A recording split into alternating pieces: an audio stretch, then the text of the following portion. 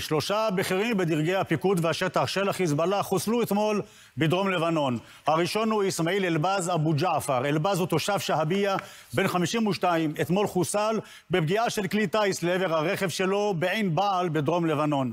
הלווייתו התקיימה היום לצד הלווייתו של פעיל נוסף שחוסל גם הוא אתמול. אלבז הוא למעשה מפקד גזרת החוף של החיזבאללה, מח"ט על פי ההגדרה המקבילה בישראל, קצין בדרגת אלוף משנה, מפקד החוף של ארגון טרור כזה, הוא שמופקד על התכנון ועל הפיקוד, על שיגור הטילים ועל ייזום מבצעים צבאיים נוספים, מבצעי טרור, מגזרת החוף לעבר ישראל. אבו ג'עפר, כינויו של אלבז, היה פעיל חיזבאללה בכיר ותיק, מי שלקח חלק בלחימה בסוריה נגד המורדים, על פי הדיווחים בתקשורת הסורית, השתתף ברצח של מאות חפים מפשע.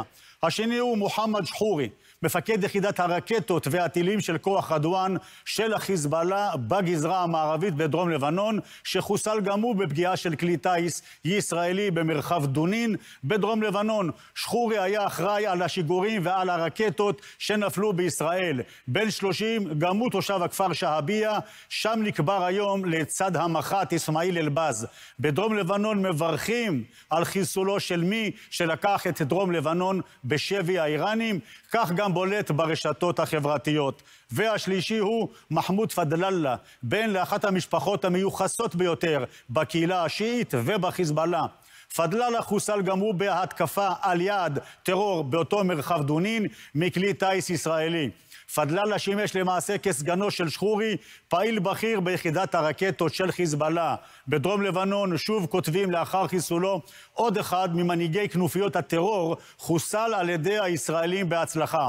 שניים מקרובי משפחתו היו פעילים בכירים בכוח רדואן, לקחו חלק בפעילות הטרור נגד צה"ל ברצועת הביטחון. אסון השייטת מ-97, הזכור לנו מהכפר אנסריה, הוא אחד מהם. הזכרים מבני משפחתו נהרגו במלחמה של מלחמת לבנון השנייה.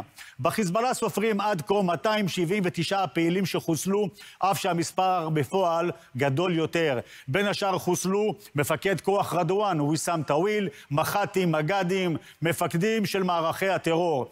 אלבז הוא המח"ט השביעי של חיזבאללה שחוסל מאז שהחלה המלחמה.